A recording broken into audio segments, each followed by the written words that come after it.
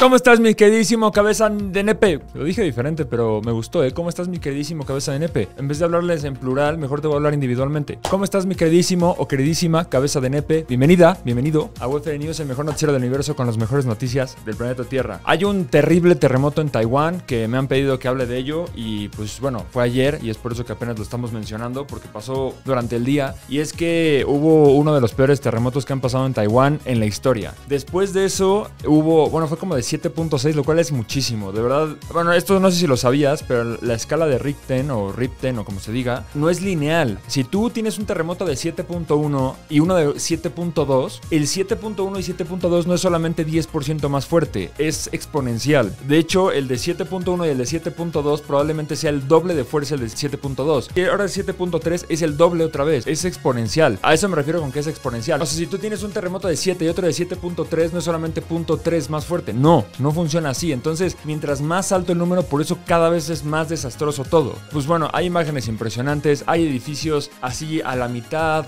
hay, bueno, afortunadamente no hay tantas personas que perdieron la vida. Ahorita confirmadas hay solamente nueve personas que perdieron la vida, lo cual, a ver, es, son nueve personas, son nueve familias, son, o sea, es muy trágico, pero no fueron miles, ya sabes que pudieron haber sido. Hay 800 personas heridas, de las cuales de esas 800 personas me imagino que algunos se van a terminar sumando a la lista de los nueve que fallecieron. Y se cree que hay más de 170 personas atrapadas entre túneles, entre edificios y personas que todavía no saben si están vivas o no, pero obviamente es una tragedia. Las imágenes están impresionantes y es que simplemente ponte a pensar que pues las personas que viven en esa ciudad, como que a veces pensamos que, ah, como en esas ciudades hay terremotos, pues ya están acostumbrados, pero no es cierto, ve lo que pasó aquí en México. Hubo un terremoto donde la gente, a pesar de que ya sepamos que hay terremotos aquí, lo que sea, aún así te puede tocar a ti y es totalmente aleatorio. Es literalmente Dios seleccionando con el dedo qué edificios se van a caer, quiénes van a morir y literal, o sea, a pensar en todas las personas que son afectadas, desde personas que perdieron su tienda, fíjate cuántas personas no están invirtiendo dinero en un local y todo y de repente, ¡pum!, se desaparece de un segundo para otro. Imagínate que ahorita el lugar en donde tú estás trabajando o en el que trabajan tus papás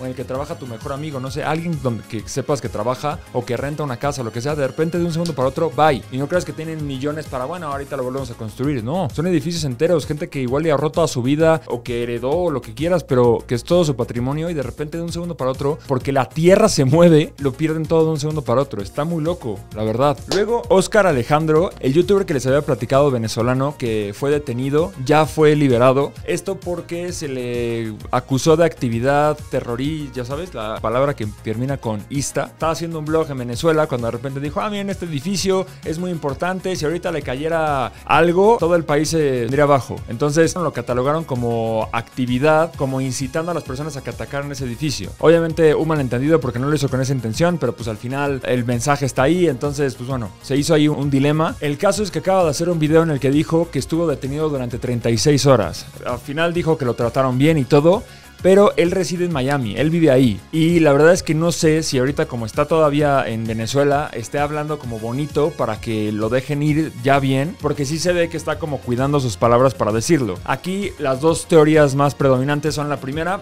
ten en cuenta que todavía no lo dan en libertad. Ya lo liberaron, pero sigue con libertad condicional, o sea, no puede salir del país hasta que digan bien qué va a pasar con él. O sea, que todavía está ahí dependiendo de que Venezuela de repente no se le vote y diga, ¿sabes qué? Pues sí vas a estar 10 años en la cárcel. Entonces me imagino que ahorita una de dos o está cuidando sus palabras para que vean que sí es bueno y ayudar a su caso para que no le den una sentencia fuerte. O dos, tal vez lo amenazaron, lo trataron mal, le pegaron, etcétera. Y dijeron, si dices una palabra, te vamos a meter a la cárcel. Entonces se ve que está cuidando sus palabras. Ahora vienen tres posibles escenarios.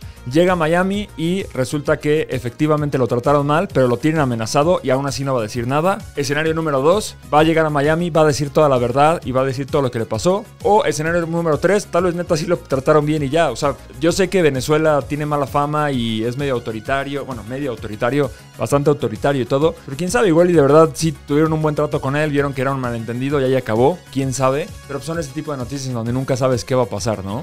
Luego, hablando de Jerimois, Jerimois está metido en una polémica que se me hace absurda. Hizo un video musical en donde dijo, bueno, en donde se vistió como China y se llama Ojitos Chiquitos la, la canción o Ojititos Chiquitos, una cosa así. A lo cual salió una usuaria de TikTok que se llama... Este, Stella Howe a ofenderse, a decir que estaba ofendida porque esto era algo racista. A lo cual yo estoy muy a favor de un como movimiento que se está haciendo últimamente que dice que el hecho de que tú digas que es ofensivo, estás contribuyendo más al racismo tú al decir eso que en sí la otra persona. Mira, tú pon de ejemplo a los niños, ¿no? Un niño de repente ¿qué hace, no? Llega y dice, ah, me voy a disfrazar de niña, ¿no? Y de repente cuando tú le dices, oye, eso está mal, en ese momento estás plantando la idea de que está mal. Si tú dejaras al niño que jugara como tal y como si nada, pues de repente el niño igual se viste de mujer o de repente igual se viste de chino y no lo está haciendo con ninguna mala intención. En el momento en el que tú empiezas a meter, ah, eso es racista porque estás haciendo apropiación cultural. De hecho, hay muchos, bueno, hay un youtuber que a mí me gusta mucho que va a Estados Unidos disfrazado de otras cosas. Por ejemplo, va disfrazado mexicano, ¿no? Y primero va con los mexicanos y les pregunta, oye, ¿se te hace ofensivo mi traje? A lo cual las personas dicen, pues no, de hecho está padre. Mexicanos le dicen, no, está padre, no tiene como bigote y sombrero y todo. Y de repente va con otras personas, así blancos, normales, estadounidenses, y dicen, ah, eso es racista, estás eh, insultando a los mexicanos, cuando ni siquiera los mexicanos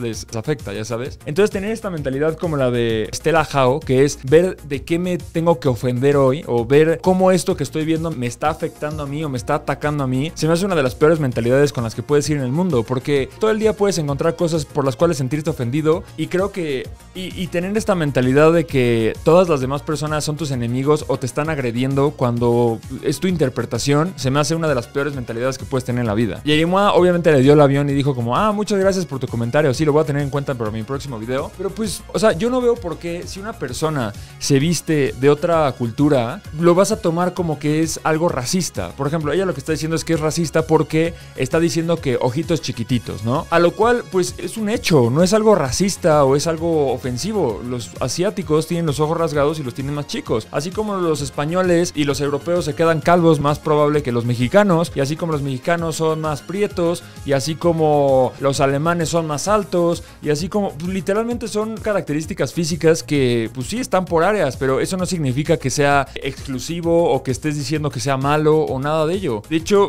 al contrario, si yo viera que Jerimoa o un artista está usando algo que es de mi cultura, tú tienes dos opciones. Sentirte ofendido y hacerte la víctima y tener esa mentalidad que es de perdedor. O decir, ah, mira, qué padre, decidió entre todas las culturas del mundo, decidió la mía porque fue la que más le gustó. Ahora, hay un aspecto que dice que está faltando al respeto porque está teniendo como ropa, como incitación sexual con, bueno, relacionado con lo chino. A lo cual puede ser, o sea, ahí puede que tengas un punto, ¿no? O sea, también no se trata de que porque no, no estoy de acuerdo con su parte de que es racista decirlo de los ojos chiquitos, no por eso voy a decir que todo lo que está diciendo está mal. Puede que sí sea cierto que si estás agarrando cosas tradicionales de un país y le estás haciendo como pues, medio encuerándote y así, pues puede que sí se tome como una falta de respeto porque al final es algo tradicional y es algo muy como puro, ¿no? Entonces al volverlo algo sexual, pues puede que se vuelva algo pues menos puro, ¿no? Aún así mantengo mi argumento de que es tu forma de encontrar cosas en las cuales sentirte ofendido o sentirte atacado, porque pues al contrario lo podrías ver como, oye, a ver, es un video musical, obviamente los videos musicales siempre tienden a ser pues atractivos, ¿no? Los hombres y las mujeres que salen ahí son guapísimos,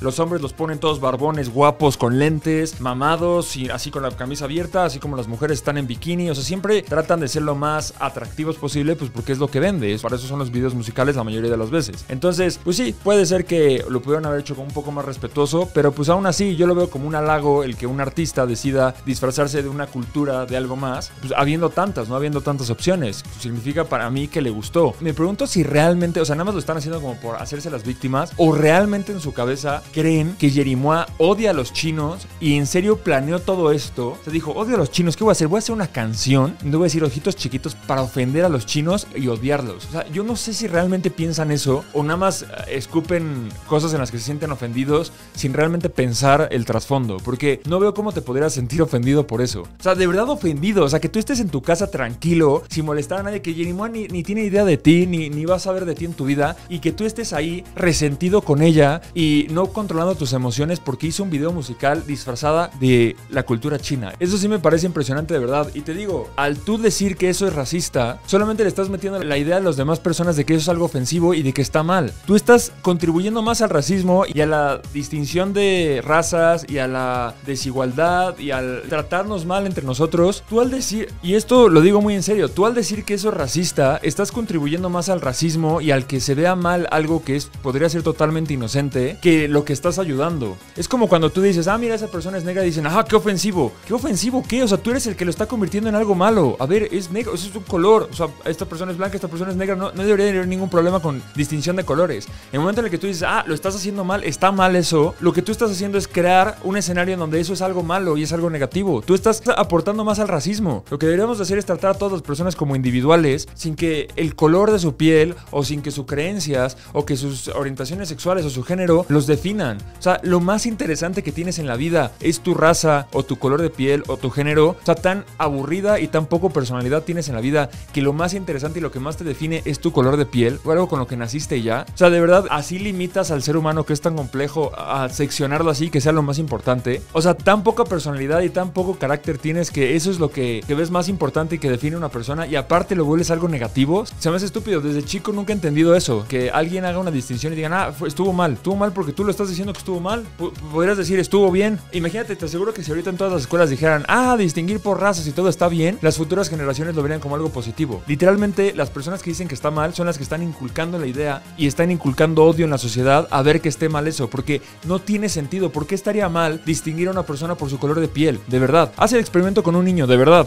Pon a un niño de 5 o 7 años y dile, ah, mira, es esa persona negra. Y cuando lo diga, dile, ah, muy bien, distinguiste su color y vas a ver cómo se pone feliz. Y luego dile, ah, y luego otro niño dile, ah, no, hiciste eso, estuvo mal. Y vas a ver cómo los dos crecen con una idea de que distinguir está bien y el otro es distinguir está mal. No es una ley universal. O sea, no es como, a ver, pegarle a alguien, ¿no? Pegarle a alguien es causarle dolor y hacerle daño a otra persona está mal. En todos los niveles. Hay niños, hay adultos, hay todas las personas saben que es una ley universal. En cualquier nivel, en cualquier tipo de educación, sin importar la religión que tengas, pegarle a alguien o hacerle algo mal a alguien está mal. O robarle algo a alguien. Es algo universal, es algo que lo veas como lo veas está mal. Estás quitando algo a otra persona. En cambio, esto de las razas y de los géneros y todo es inculcado, es, es adoctrinar a las personas a que está mal cuando bien podría ser algo positivo. En vez de que dijeras eso, si dijeras, oye, qué padre, Jerimoa, yo soy de China, qué padre que elegiste mi cultura para hacer tu video, te aseguro que infundirías más amor y ayudarías más al tan odiado según tu racismo que lo que estás haciendo al decir eso está mal, eso es racismo, hay que catalogarlo como algo malo. Y pues nada, Jerimoa, no sé si vayas a ver esto, pero yo creo que está bien, yo creo que no deberías de pedir disculpas y sigue haciendo lo que quieras con tus videos. Si quieres en el siguiente ponte un gorrito mexicano, yo soy mexicano y te digo que está perfecto que te pongas así, un bigote, un sombrero, un poncho y digas, ah, cactus, taco, taco, tequila. Y eh, te acuerdo que no me voy a ofender y los que se ofendan son perdedores. Luego, hay un hablando de perdedores, hay un streamer que estaba buscando pleito en Twitch, o sea, no en Twitch, sino estaba transmitiendo en Twitch cuando andaba buscando pleito en la vida real, cuando le avienta una botella a una persona que se veía medio flaquita, pero resulta que el flaquito sabía pelear mejor y le terminó ganando al mamado. A ver, no es una película, entonces obviamente la pelea no fue coreografiada y no fue la pelea más bonita de ver y no creas que llegó y pa, pa, pa, pa y lo dejó en el suelo. No, estuvo un poquito, o sea, como que se agarraron, ya sabes, eso típico que están en el suelo como que abrazados y como que nadie sabe qué hacer. Pero pues al final yo diría que ganó el flaquito. Ahora, flaquito se ve fuerte, ¿eh? se ve que va al gym. O sea, no se ve flaquito, flaquito. Aún así el otro se ve pues, mamado, o sea, era como para que lo hubiera ganado el otro. El caso es que llega, le avienta la botella, se para. El primero que suelta el golpe es el streamer y el otro pues dice, hasta aquí, le empieza a pegar y lo derrumba dos veces. Así que lo dejó ahí como un loser. Hasta el mismo chat y todos empezaron a burlar de él porque pues al final quedó como un perdedor por estar buscando pleito como porque al final se lo terminaron madrando. El otro quedó pues bien,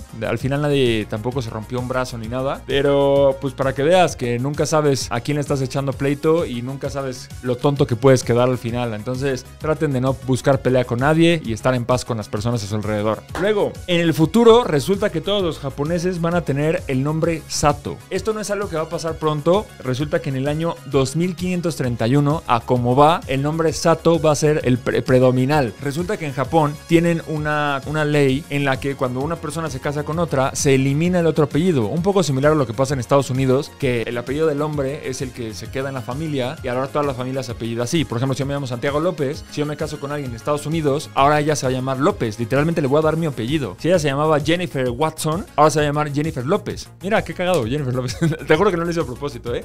Jennifer López, mira, tal vez se casó con un López. Bueno, o su papá, o su mamá más bien. El caso es que, pues bueno, los apellidos así se van eliminando y es por eso que el apellido Sato ha ido creciendo. Ahora, no sé bien cómo funciona, porque según yo, a pesar de que sean la mayoría, aún así pues los otros pueden ir creciendo, ¿no? O sea, depende, por ejemplo, si hay un apellido que se llame San, ¿no? No Sato, San. Pues si los San se vuelven buenos y se empiezan a casar con todo mundo y así, pues le pueden ir ganando al Sato. O sea, yo, yo no entiendo por qué, pero bueno, al parecer ya se hicieron los estudios y hicieron una predicción y al parecer sí, cada año va subiendo el nivel de Satos en Japón y al parecer para el año 2531 ya no va a existir otro apellido más que el Sato. A lo cual pues obviamente es un problema tanto para términos legales como para individualismo y un montón de cosas. Lo cual la verdad yo no me preocuparía por algo que va a pasar en más de 100 años porque probablemente en menos de 50 ya nos autodestruimos, ya hicimos una guerra nuclear y todos morimos o la inteligencia artificial ya nos dominó y somos esclavos o alguna cosa así. Entonces la verdad yo creo que tenemos problemas más fuertes que preocuparnos para el año 2500 que el apellido sea Sato. Pero bueno, en el dado caso, ¿no? En el caso hipotético en el que esto realmente sí llega a pasar, imagínate lo locos que sería que en todo un país todos se piden Sato. Imagínate que te llamas Kurima Sato y ahora de repente todos los Kurima se llaman igual, Kurima Sato, Kurima Sato, Kurima Sato. Imagínate el desmadre que sería legalmente en bodas, en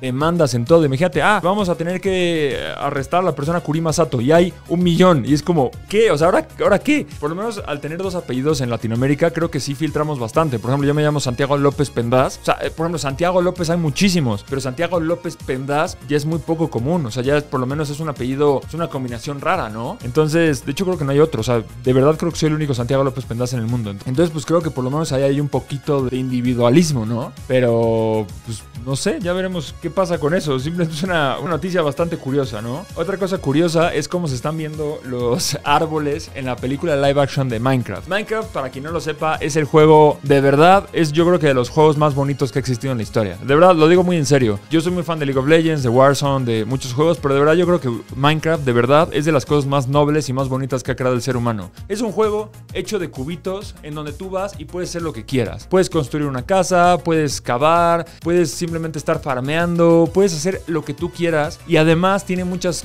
cosas similares a cómo funciona la programación. Yo conozco muy buenos programadores y muy buenos desarrolladores que salieron de Minecraft o que empezaron a tener sus gustos sobre la programación o de hacer proyectos gracias a Minecraft. Porque Minecraft, a pesar de que es un juego muy simple, que puede ser tan simple como simplemente estar ahí picando y haciendo tu palito de, de madera y así, también puedes hacer un montón de cosas. Puede ser montañas rusas que si haces un switch, entonces acelera y entonces para hacer una puerta secreta tienes que hacer otra cosa y entonces haces una aleación. Puede ser de todo. Literalmente es como un juego súper abierto en donde las posibilidades son infinitas y literal tu imaginación es el límite. A mí se me hace un juego muy bonito. Y pues nada, y veo como niños lo juegan y como que tiene... Lo más fuerte que haces es que matas tal vez un cerdo, pero ni siquiera disparas, no matas. O sea, es un juego muy bonito, de verdad. Lo digo en serio. Obviamente todos hemos tenido nuestra época de Minecraft. Yo personalmente jugué mucho Minecraft hace mucho tiempo, cuando estaba para el Xbox 360, imagínate. Y pues nada, es un juego que me trae muy, muy buenos recuerdos. Es por eso que la industria de las películas ya se había tardado en buscar otro sueño que destruir. Agarrar una propiedad intelectual que la gente ama, como Minecraft, para hacer una mierda de película que a nadie le guste,